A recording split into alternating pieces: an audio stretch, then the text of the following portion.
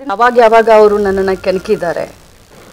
ನಾನು ಸುಮ್ಮನೆ ನನ್ನ ರಾಜಕಾರಣ ಮಾಡುವಂಥ ಸಂದರ್ಭದಲ್ಲಿ ಇನ್ಕಮ್ ಟ್ಯಾಕ್ಸ್ದವ್ರಿಗೆ ಇ ಡಿ ಅವ್ರಿಗೆ ಬರೆದು ನನ್ನ ಮೇಲೆ ರೇಡ್ ಮಾಡಿಸಿದ್ರು. ನನ್ನ ಮೇಲೆ ಇನ್ಕಮ್ ಟ್ಯಾಕ್ಸ್ ರೇಡ್ ಮಾಡಿಸಿದ್ರು. ಅವ್ರು ಎಂ ಎಲ್ ಎ ಇದ್ದರು ನಾನು ಅವಾಗಿನ್ನೂ ಎಂ ಎಲ್ ಎ ಇರಲಿಲ್ಲ. ನನ್ನ ಮೇಲೆ ರೇಡ್ ಮಾಡಿಸಿದ್ರು ನಾನು ಎಂ ಎಲ್ ಎ ಆದೆ. ಈಗ ನನ್ನ ಮೇಲೆ ಈ ರೀತಿ ಮಾತಾಡ್ತಾ ಇದ್ದಾರೆ ಮುಂದಿನ ದಿನದಲ್ಲಿ ದೇವರ ಆಶೀರ್ವಾದದಿಂದ ಜನತೆಯ ಆಶೀರ್ವಾದದಿಂದ ಮಂತ್ರಿ ಆಗ್ತೀನಿ. ಇಷ್ಟ. ಸಂಜಯ್ ಪಾಟೀಲ್ ಅಣ್ಣನವ್ರಿಗೆ ಇಷ್ಟೇ ಹೇಳ್ತೀನಿ. ಅಣ್ಣ ನಿನಗೆ ಹೆಂಡಂದ್ರಿದ್ದಾರೆ. ಮಗಳಿದ್ದಾಳೆ. ತಾಯಿ ಇದ್ದಾಳೆ. ಅಕ್ಕ ತಂಗಿಯರಿದ್ದಾರೆ. ನೀನು ಇದನ್ನೇನು ಮಾತಾಡಿದೆಯಲ್ಲ, ಇದು ನನಗೆ ಮಾತಾಡಿಲ್ಲ. ನೀನು ಯಾರಿಗೆ ಮಾತಾಡಿದೀಯ ಅಂತ ನೀನು ವಿಮರ್ಶೆ ಮಾಡ್ಕೊ.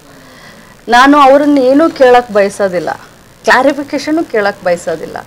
ಈ ರಾಜ್ಯದ ಮುಖ್ಯಮಂತ್ರಿ ಆದಂಥ ಬೊಮ್ಮಾಯಿಯವರು ಮತ್ತು ಅವರ ರಾಜ್ಯಾಧ್ಯಕ್ಷರಾದಂಥ ಕಟೀಲ್ ಸಾಹೇಬರು ಇದು ನಿಮ್ಮ ಪಕ್ಷದ ಶಿಸ್ತು ಅಥವಾ ಸಂಸ್ಕೃತಿನ ಇದು ಸಂಜಯ್ ಪಾಟೀಲ್ರ ವೈಯಕ್ತಿಕವಾದ ಹೇಳಿಕೆನ ಅಥವಾ ಪಕ್ಷದ ಹೇಳಿಕೆನ ಅಂತ ಅವರಿಬ್ರು ಸ್ಪಷ್ಟಪಡಿಸ್ತಾರೆ